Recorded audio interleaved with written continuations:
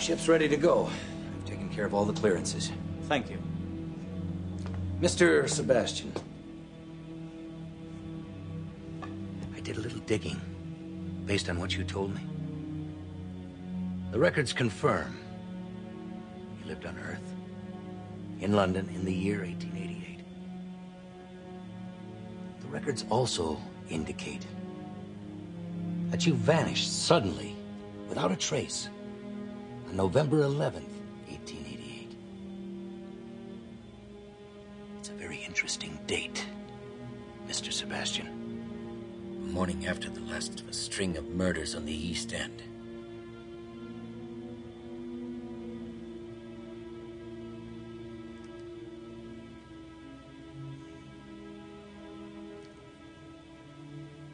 The city was drowning in decay.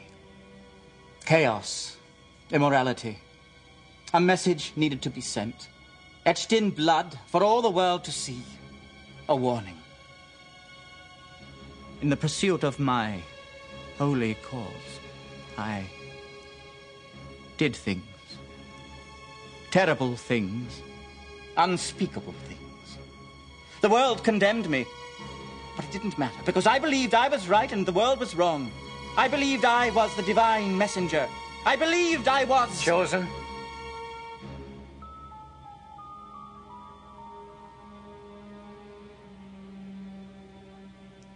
I was.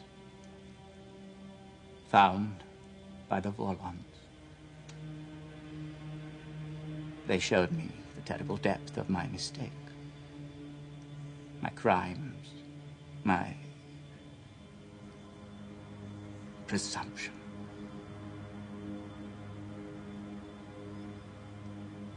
I have done 400 years of penance in their service.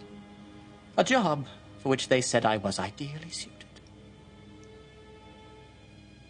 Now, perhaps, they will finally let me die. I think that might be wise.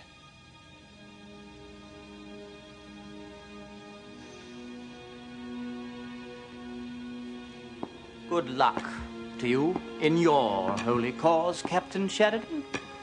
May your choices have better results than mine.